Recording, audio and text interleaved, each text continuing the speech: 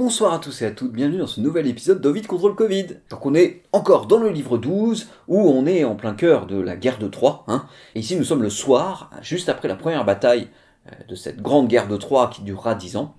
Et là, Achille est justement avec euh, ce bon vieux Nestor, qui a 200 ans d'âge, hein, s'il vous plaît, hein, un sacré cru, et euh, le bon vieux Nestor va lui raconter une histoire. Père Nestor, raconte-nous une histoire, Père Nestor.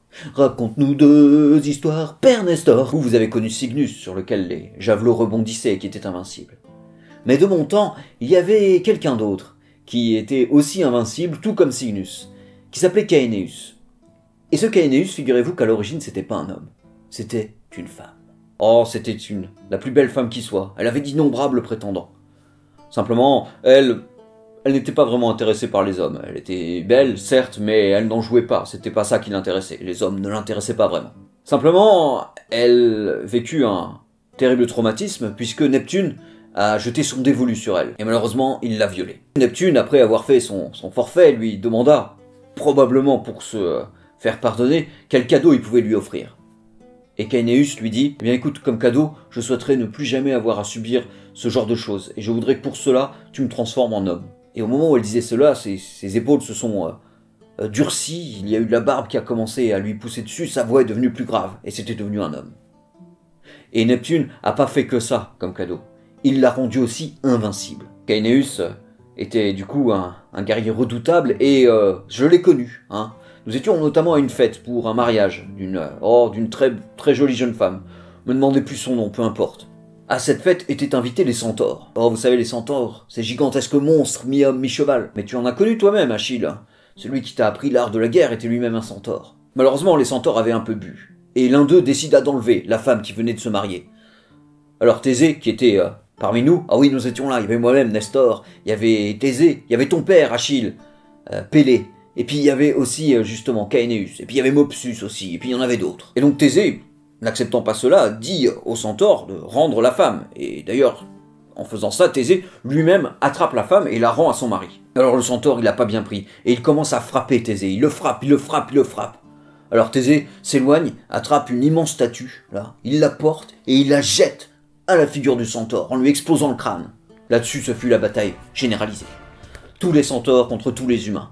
Or, il faut pas imaginer comme une bataille avec euh, des épées, tout ça et tout. Non, non, non, les centaures sont allés attraper des arbres. Oui, des arbres. Ils ont déraciné des arbres pour nous attaquer. Et nous-mêmes, nous avons fait de même. Hein. Thésée, notamment, avait un immense chêne. Et avec ce chêne, il massacrait les centaures. Il donnait des coups dans la figure. Il, en tuait un, il en tuait deux, il en tuait trois. Moi-même, bien sûr, accompagné de Pélé, euh, j'ai pas été en reste et j'en ai tué un certain nombre. Ils sont tombés sous mes coups. Mais aussi un certain nombre des nôtres sont morts sous les coups de ces terribles, ces atroces centaures.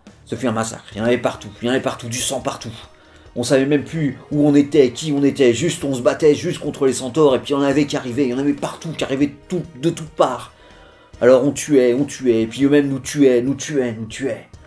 Oh, il y en a eu des gens qui sont morts. Hein. Il y en a eu des centaures qui sont morts. Il y en a eu des humains qui sont morts. Ce fut une bataille terrible. Caeneus, lui, était un petit peu isolé de nous. Mais il faisait un vrai massacre. Il en avait déjà tué 5 centaures quand soudain arriva un terrible centaure, l'Atreus de son nom. L'Atreus tourna tout autour de Caenus en lui disant les choses suivantes. Oh, Caenis Oui, c'était son nom quand il était une femme. Oh, Caenis, qu'est-ce que tu fais là? C'est pas un truc pour les femmelettes ici, hein Parce que t'as beau avoir un corps d'homme, pour moi t'es toujours qu'une femmelette, d'ailleurs retourne faire la cuisine. Il était pas très subtil, hein, le Latreus. Mais Caeneus s'est pas laissé faire, il a attrapé un javelot et lui lance dans le flanc. Ça lui fait mal à l'Atreus, mais ça le tue pas. Il attrape un javelot, l'Atreus, et il le lance aussi sur Caeneus. Mais, en affaire, ça rebondit. Alors Atreus attaque Caeneus. Il lui donne un coup d'épée, mais ça rebondit. Il lui donne des coups d'estoc, ça rebondit. Ça marche pas, ça marche pas, ça marche pas. Alors Caeneus dit Bon, maintenant c'est peut-être à moi de te montrer comment on donne des coups. Et là, Caeneus, il attrape son épée et il l'enfonce dans le ventre de l'Atreus. Et en l'enfonçant en plus, il tourne l'épée pour bien agrandir la blessure. La L'Aletreus meurt sur le coup. Les centaures sont fous ils se jettent sur Caeneus. Mais à chaque fois qu'ils frappent, les coups rebondissent, et ça marche pas. Alors, euh, l'un d'entre eux dit Nous n'arrivons même pas à tuer un demi-mâle, c'est nous qui ne sommes des femmelettes. Puisque c'est comme ça, nous allons devoir récupérer tous les arbres de la forêt et lui jeter dessus. On va voir s'il résistera quand il sera écrasé qu'il ne pourra plus respirer. Et c'est exactement ce qu'ils font. Ils attrapent des arbres, ils le jettent sur lui. Alors au début, euh, bien sûr, il arrive à supporter le poids, hein, mais au bout d'un moment, il finit par s'affaisser. Il s'agite, il s'agite pour essayer de se sortir de là, mais ça marche pas. Il y en a à chaque fois des arbres, de plus en plus d'arbres qui lui tombent dessus, qui lui tombent dessus. Il arrive à soulever les arbres, mais pas assez longtemps. Ça l'écrase à nouveau, il réessaye. Et ça l'écrase à nouveau, il réessaye. Et ça l'écrase à nouveau. Il y en a encore de plus en plus, de plus en plus. Au bout d'un moment, il n'en peut plus. Il peut même plus respirer. Il est complètement écrasé. Alors, on ne sait pas très bien ce qui, ce qui lui est arrivé, mais moi, toujours est-il que moi, ce que j'ai vu, c'est que, un moment, est sorti de ces arbres un oiseau que j'avais jamais vu avant, que j'ai jamais vu après.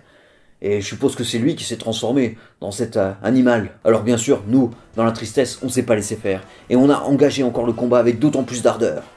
Et on a fini par gagner. Alors que Nestor finissait son, de raconter son histoire, un, un homme, qui se trouve être le fils d'Hercule, lui demande euh, Ok, super, mais est-ce que tu peux nous parler d'Hercule? Hercule, oh, me parle pas de lui, c'est un ennemi pour moi. Tu sais qu'il a massacré tous mes frères Nous étions douze, douze fils de Néléus. Et il se trouve qu'Hercule les a tous massacrés, sauf moi. Oh, pourquoi moi? Je ne sais pas. Mais toujours est-il que même l'un de mes frères, qui avait un pouvoir particulier puisqu'il pouvait se transformer en animal, qui s'était transformé en aigle et a attaqué Hercule au niveau du visage pour essayer de l'aveugler, eh bien même lui il est mort, puisque à un moment donné, alors qu'il s'envolait, Hercule lui a lancé une flèche. Oh, pas une flèche vraiment très violente, simplement elle l'a touché au mauvais côté, et du coup il ne pouvait plus voler, donc il s'est écrasé par terre, et, là, euh, la flèche s'est bien enfoncée jusqu'à son cœur, il en est mort. Moi j'ai eu la chance de survivre. Et pour me consoler, on m'annonça que ma vie durait aussi longtemps que la vie de mes onze frères réunis. C'est pour ça que maintenant tu me vois à 200 ans et que probablement je pourrais vivre au moins jusqu'à 300 ans si je réussis à survivre à cette guerre. Et voilà, ça s'arrête là, on s'arrête là. D'ailleurs, le livre 12 est déjà fini. Et oui, ça fait deux histoires. Alors, deux grosses histoires, c'est vrai. Mais en fait, ce qui se passe, c'est que le livre 12, euh, la bataille sur les centaures prend énormément de temps. Il y a énormément de massacres. Il y a pas loin de 76 noms qui sont annoncés dont des illustres inconnus. Alors vous pensez bien que j'allais pas retenir les 76 noms, hein, donc j'ai dû un petit peu écourter. Du coup ça fait que le livre, bah, je l'ai découpé en fait en deux parties, voilà. Donc ça fait deux gros euh, épisodes. Hein. Bon bah on se retrouve la prochaine fois pour la suite, euh, du coup pour le prochain livre, hein, le livre 13 qu'on va attaquer, qui va commencer par la mort d'Achille. Je vous en dis pas plus, vous verrez bien. Sur ce, je vous souhaite une bonne soirée et à la prochaine. Ciao